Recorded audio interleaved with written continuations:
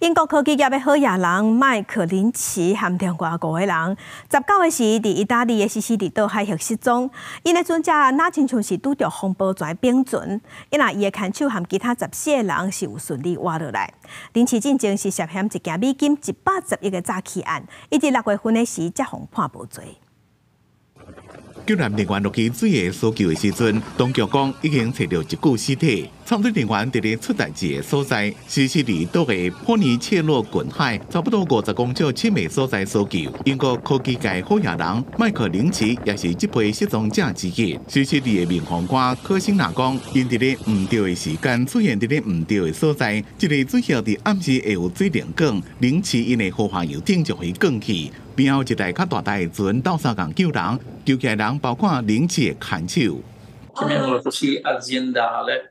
Senso che molti erano colleghi di lavoro, sono molto provati e chiedono continuamente delle persone. 五十九岁林奇荷兰公是英国的比尔盖茨，今年六月才因为诈欺案被判无罪。这件案件是因为伊二零一一年，关于一间软体公司奥特纳米用一百十亿美金的计销，维护美国电脑大厂惠普，被指控涉嫌优待计销。林奇可能有不同行为，并且甲惠普 HP 形容是一台技术出代志的列车，被判无罪，总算替伊平反。因为迄当阵共犯也被告的奥多纳米前财务长张伯伦，也也判无罪。不过张伯伦顶礼拜六伫英国剑桥出车祸不幸死亡。公司新闻吴文玲编辑。